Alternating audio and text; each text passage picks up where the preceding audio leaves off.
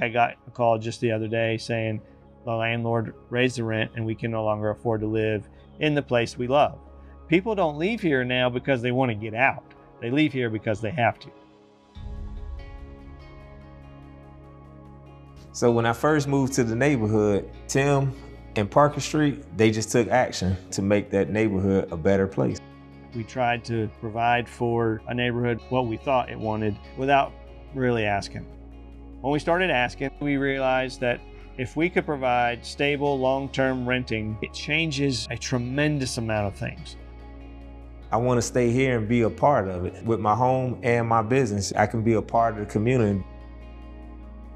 When we started seeing the neighborhood really catch, honestly, their identity in Christ, the neighborhood started looking different to the point now that rent prices are increasing, property values are increasing. Any given day, there's someone driving through, checking out the neighborhood.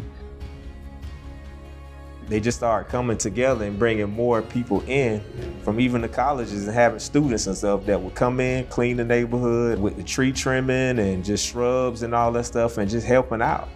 As beauty has come to a space, we don't want to lose what we see as the most beautiful, which is our residents.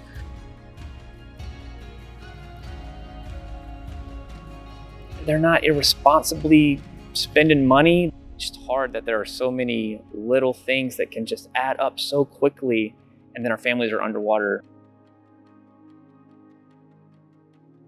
Our goal with housing is that our families would not pay more than 30% of what they bring in a month. Because we're going to be in relationship with our families, we'll, we will be able to, to take all that stuff into account and then manage with the ebbs and flows so this housing piece is like everything else that Parker Street offers is we're in it together. Until I see God bailing on somebody, I don't think we get an option to bail.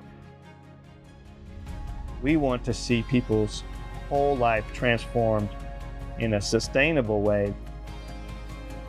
They proved to me that they wanted the neighborhood to be better, not just for them, but for everybody. I think about the things that I hold as valuable and important. If I think they're good for me, I must seek to have those things happen for my neighbors. There's so much opportunity for us to further our relationship with the people that we have already invested in for decades.